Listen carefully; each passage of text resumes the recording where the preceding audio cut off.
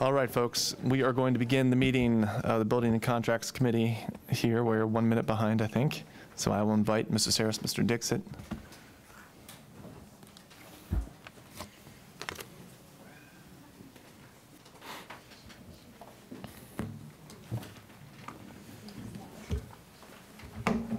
We have 12 items today, beginning with supplementary instructional materials for students with significant cognitive disabilities. This is a new contract to provide for supplementary instructional materials for the Office of Special Education. Approval is requested for a five-year contract with two recommended vendors and contract spending authority of $450,000. All right, do we have questions? Mr. McDaniels? Mr. Stewart, I just wanted to mention that we got a uh, complete presentation in the curriculum meeting last month uh, regarding the educational benefits of this program, and the curriculum committee supported moving it forward to the full board. Thank you for that context. Okay, we will move forward with our next contract. Staff training. Uh, This is a new contract for which cooperative, competitive proposals were solicited to provide training for teachers and support staff for the Office of Special Education. Approval is requested for a five-year contract with one recommended bidder and spending authority of $250,000. Questions? No questions on this one. We'll proceed to the next one. Uh, This is LKO 427-18, Robotic Components and Software. This is a new cooperative agreement for robotic components and software for the Department of Innovative Learning. Approval is requested for a three-year, nine-month contract with a two-year extension with one recommended bidder and contract spending authority of $400,000. Remind me, does the 400 also cover the extension? Yes, In this we've instance. included that in this proposed spending authority. Okay. Questions? Ms. Henn? Thank you. Will this contract meet the demand for robotics programs in our schools?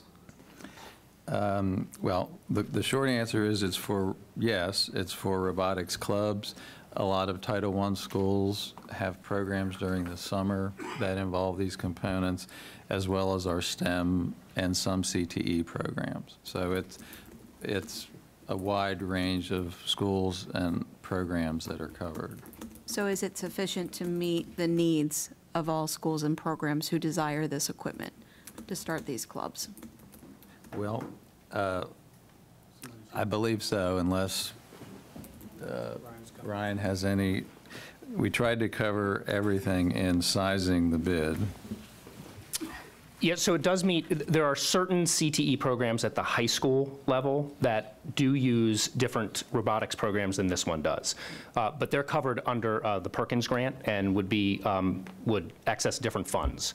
So for our middle school CTE programs, for Lego League Robotics, all those programs are covered under this. And all of those schools expressing interest in starting those programs or clubs are covered in this? My Yes, they concern is I want to make sure that we're amply providing for those that are interested in starting these. I know the benefits, they're fantastic programs. I've talked with teachers who say, we, we want this at our schools. So my, We, we want it too.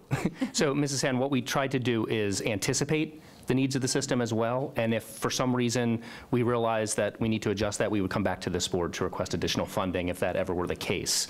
But um, we feel very confident that the allocation in here would support the needs um, as they stand and as interest continues to grow. This contract does allow schools to, um, to tap into it to purchase the equipment they might need. great, thank you, because I would support increasing it if there are schools that need this, that are not covered by this. So thank you. Thank you.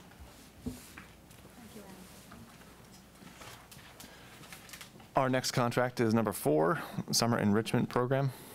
Yes, this is a STEM Summer Enrichment Program, a new contract for which competitive proposals were solicited for two one-week summer STEM enrichment programs for grades five and six students at Woodmore Elementary School and Golden Ring, Middle River, and Windsor Mill Middle Schools. Approval is requested for a four-year, two-month contract with one recommended bidder and contract spending authority of $736,000. Remind us how these schools were selected? Uh, It's part of the, this is funded by the Magnet School Assistance Plan Grant. Um, And I think uh, either uh, Mr. Imbriali or Ms. Schubert could uh, best explain the selection process. Great. Welcome back. Hello again. See, yeah, so the four, the four middle schools that are part of this uh, summer STEM enrichment program are the four middle schools that are a part of the Magnet School Assistance Program grant. And so um, the program that is part of this project, it was written into that federal grant that we received then um, through the application process. It's because those schools have the resources that the grant was looking for or that we wanted to develop or promote. That's correct. And so those schools are able to um, meet the requirements in the federal grant. Right. Ms. Henn? Thank you. And if my math is correct, this would serve approximately 3,200 students? Is that correct? It's 100 students Per each site, each summer. So I think that's correct. Yes, Over the, the duration of four years, that's correct. at a cost of about just a little over 200 per student, so Yes, that's correct. tremendous value. Thank you. Our next contract, number five, thank you, Mr. Umbrelli, online courses. Online courses for graduate and MSDE continuing professional development credits.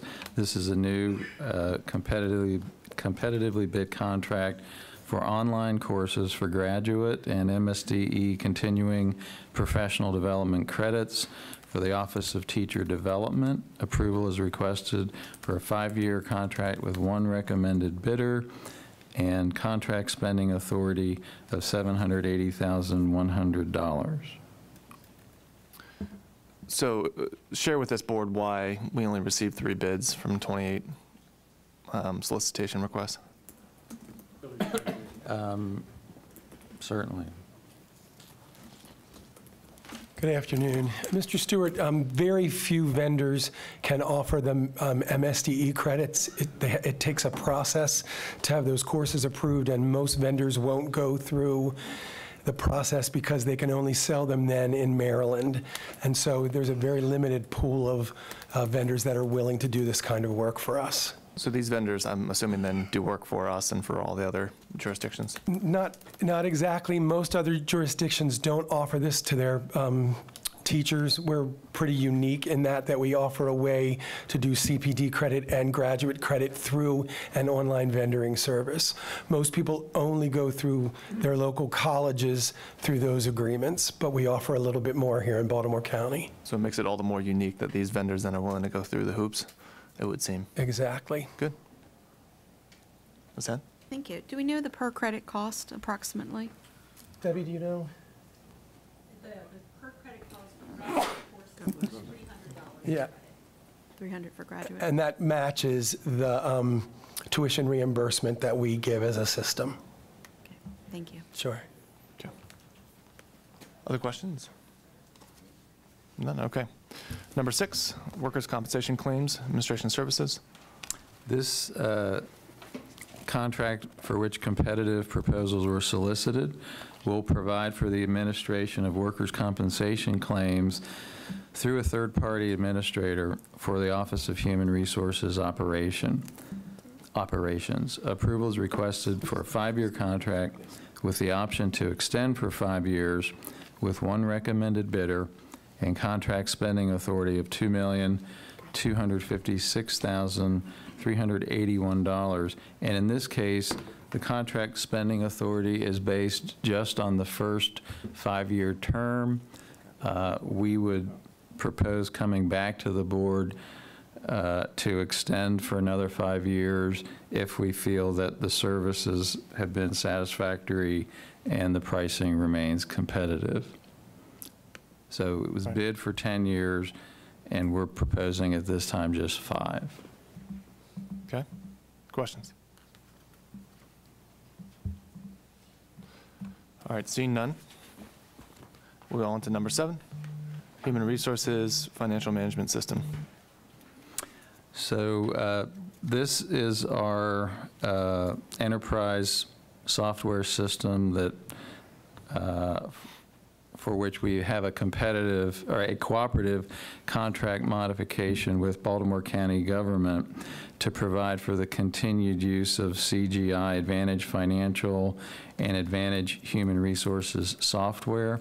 Approval is requested to increase spending authority by uh, $1,911,000, bringing the revised total contract expending, spending authority uh, for this 15-year period to $20,774,321 with one awarded vendor approved by the board. So this is essentially our primary financial accounting, payroll, procurement, human resources uh, software system.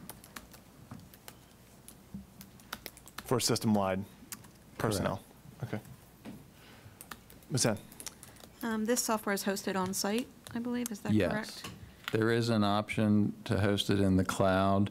We've looked at the costs to do that, and um, we're going, at this time, we elected to upgrade the system that we currently have um, in coordination with Baltimore County government, who's on the same, who uses the same product. And if we were going to go to the cloud, we'd want to do it in concert with both entities. Um, And as you can see, this, the county's agreement expires in December of 2019, so we expect uh, that we'll be back to ask for an extension, but uh, we'll coordinate with them. When you say extension, the agreement is for a period of 15 years? Correct, And those are not option years, those are correct, that's required and included in Right. the spending authority. right. Does that lock us into the hosted version of the software for 15 years? Uh, Well, we're, we're locked in through December of 2019. We just, we're s- in the process of upgrading the system. Well, it looks like the original contract had a five-year term and then 10 subsequent annual renewals, I think at, Based at on the end of original, which so we it could have end in terminated each. 19. Yeah. Thank you, Mr. Stewart. So we're not locked in, but at the same time, Only through 19. we've, we've been, the county has invested the 2.9 million for an upgrade, mm-hmm. and so, and at the same time elected not to pursue an RFP for replacement. So we're moving under the premise that with their recent investment and really not enough time before December of 2019 to replace both of our systems, that we expect them to propose an extension, and at which point we'll bring that back to the board. For the hosted product versus the cloud-based. And did I understand it correctly that a cost-benefit analysis was performed on Yes. cloud versus hosted?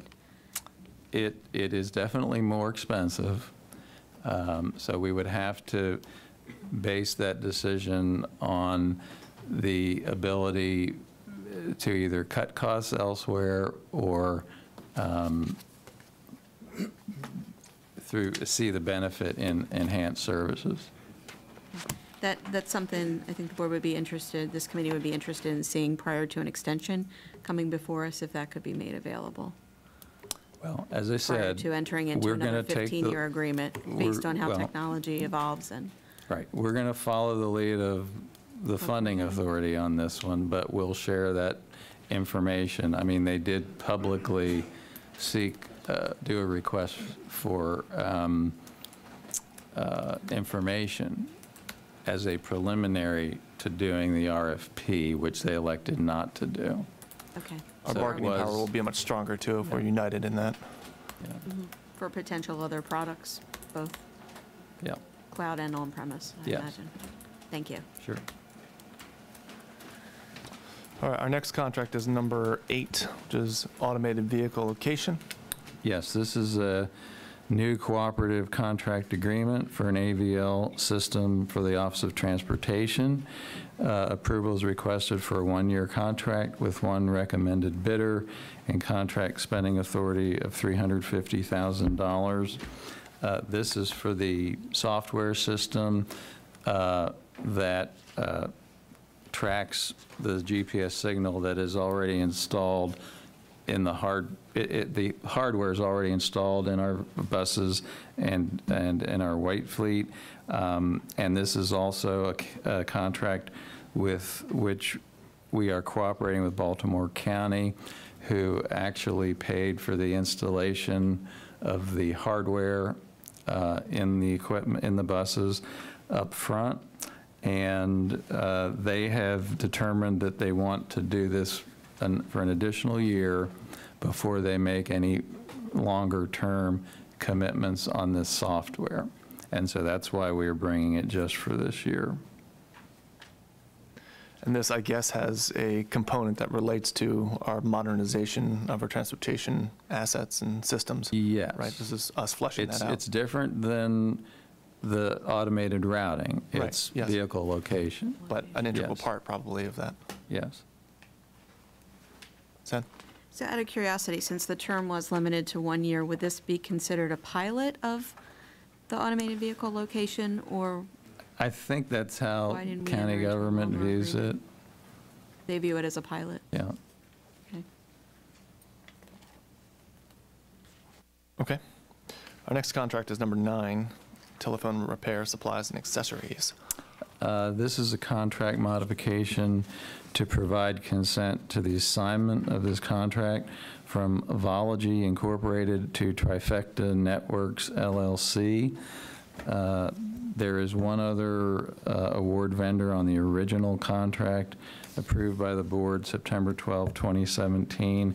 And in this case, Trifecta Trifecta Networks LLC has acquired the hardware business of Vology Incorporated, and uh, this, uh, this contract provides maintenance of our Verizon phone system, which is, uh, which is, the footprint of which is shrinking as we move more schools over to, and offices to the voice over internet protocol, which is now the majority of our service.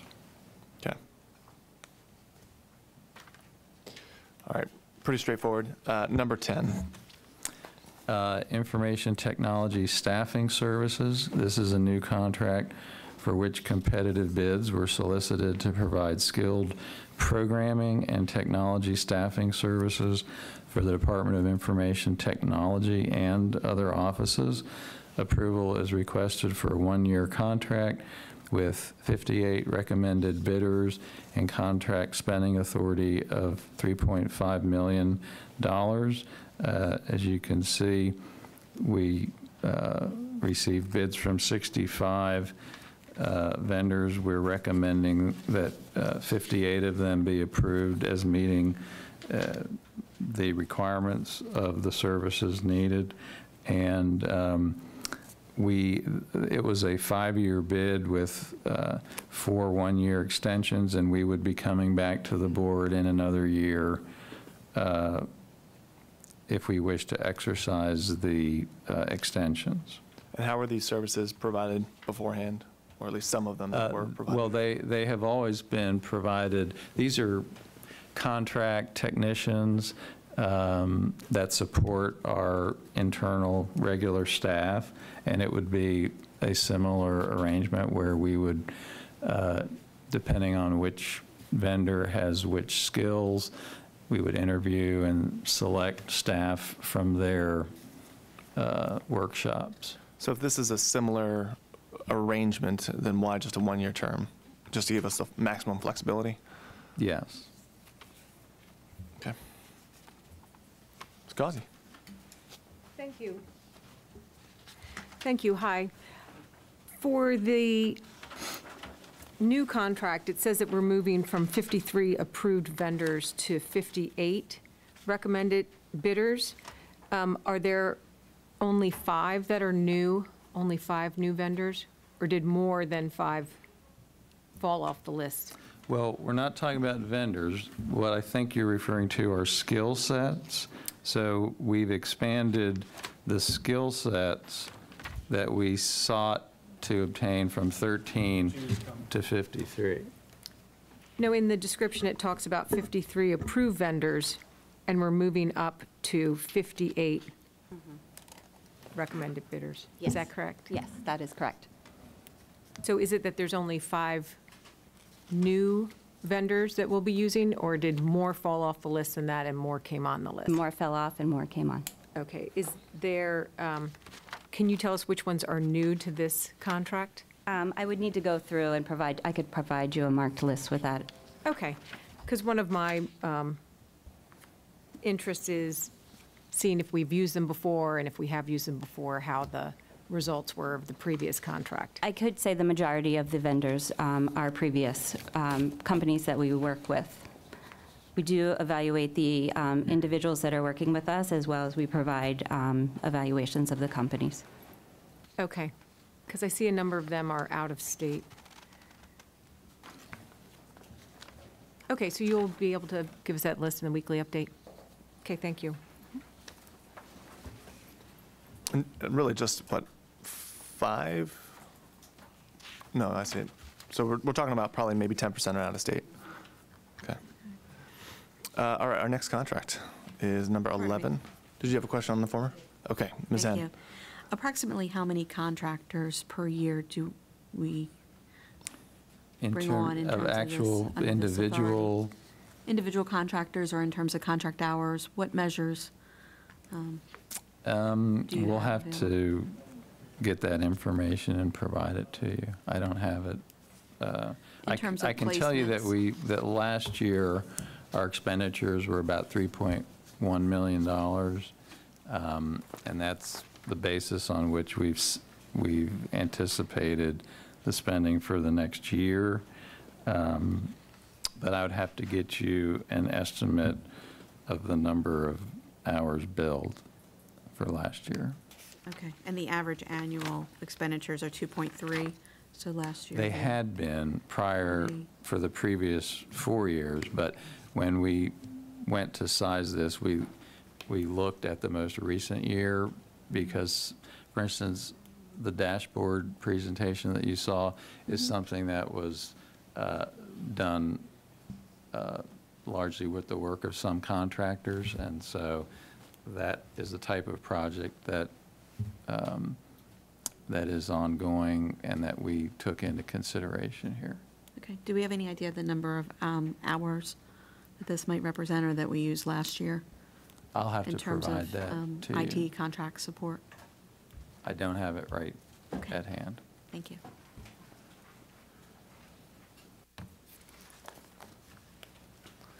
Okay, our next contract is number 11, is that correct? Yes. Okay. To do? It. This is a contract modification to provide temporary lease space for Rosedale Center.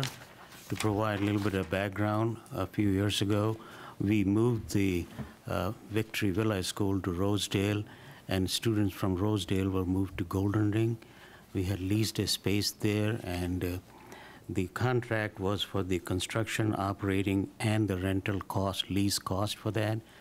The original estimate for the construction piece were based on a different site, and when we could not get that site, we quickly moved to a different site, and uh, so the actual cost of construction was more than the estimated cost.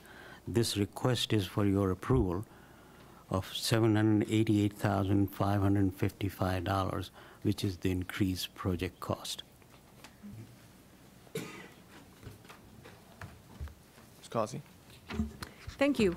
So could you tell us how many, what was the total construction costs for the build-out, and approximately how many square feet, and then how many students are utilizing that space? The, the total square footage, 30,827, and the total project cost is $3,173,099. I don't have the exact count of students, but Uh, If you allow me to approximate it, it's about 250 students. Okay, so that's a expensive build-out for 250 students. How many years have they been using it, and how many years are they projected to still use that facility? The, the facility has been extremely useful to us, and the, the, it's not expensive, about $100 a square foot for a build-out cost from a shell, starting from a shell, is a very reasonable amount. And it's a modern facility for those students, much better than what they had before. And the lease is for five years, I believe. And it's, the advantage is not only in the lease and the modern space, but since we moved the students out of Victory Villa, and now we'll be using again as holding a school for the another for the next project, for a total of two to three years uh, of construction in a vacant building. There's some cost savings there. So it has been one of the very successful project in terms of completion and in terms of cost effectiveness. Okay, thank you. All right, our next contract is number 12, moving services modification.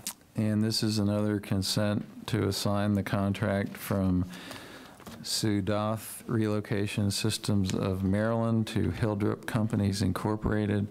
There are five other award bidders on the original contract approved by the board June 13th, 2017.